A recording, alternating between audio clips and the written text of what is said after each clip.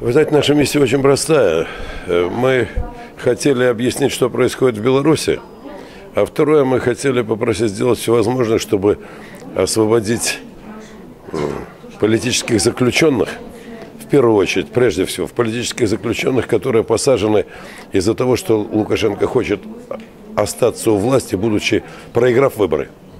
Вот. И э, мы поняли, что первая часть нашего вопроса фактически здесь ясна. Все знают, что произошло. Что это была провокация властей, что это были специально избитые люди для того, чтобы Лукашенко сохранил власть. Сейчас осталась вторая половина вопроса. Что делать? Это достаточно сложный вопрос, и мы будем сейчас обсуждать его здесь широко. Вы знаете, есть очень много возможностей. Я не буду говорить о запретных санкциях, но, например, Польша уже сделала, сделала бесплатную визу. Понимаете, это очень большое дело, потому что когда люди могут ездить за границу, она знает, что там происходит. Есть еще другие порывы. Кроме того, была опубликована замечательная статья четырех министров иностранных дел Швеции, Чехии, Германии и Польши. Вот. И они фактически обозначили, что такое Лукашенко и как надо с ним поступать. С ним надо поступать так, как с террористом, потому что фактически он взял заложников и хочет ими торговаться. До сих пор ему это удавалось.